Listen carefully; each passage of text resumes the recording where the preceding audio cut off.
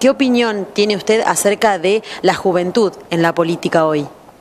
Bueno, yo creo que es importante cuando un joven, un joven eh, decide transitar los caminos de la política, si bien es una aparece en principio y entre comillas como una mala palabra la política, la política bien entendida y haciendo el bien común con sensibilidad es lo mejor que le puede pasar a un ciudadano. Quisiera saber si en este año tan importante, un, año electoral, eh, usted va a ser candidato. Todavía no, no hay nada para, para decir de candidatura. Hay que pensar qué es lo mejor para Salto, si hay consenso, ver el consenso que dice quién es el candidato, y si no, nosotros, si es posible, sería lo mejor, pero si no, nosotros en el, en el peronismo estamos acostumbrados a las internas. Del año 83 a la fecha creo que han pasado una o dos elecciones en las que no ha habido internas, así que no, pero en lo posible vamos a tratar de consensuar